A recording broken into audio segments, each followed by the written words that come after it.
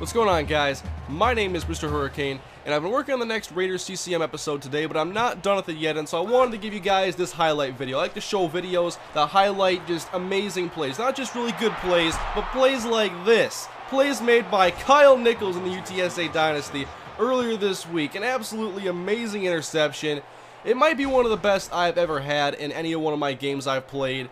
And when this happened, when I was actually playing the episode, I was like, wow, I, I was I was very excited once this happened. You can see it here in slow motion. You can see a little bit better. It's one-on-one -on -one coverage downfield. Good coverage by Nichols, who jumps up, tips it. In comes the safety, Mike Butler, who tips it back. Nichols immediately dives to his left, I believe, and then he makes a one-handed catch and does secure the ball underneath his left hand to make it a legitimate catch.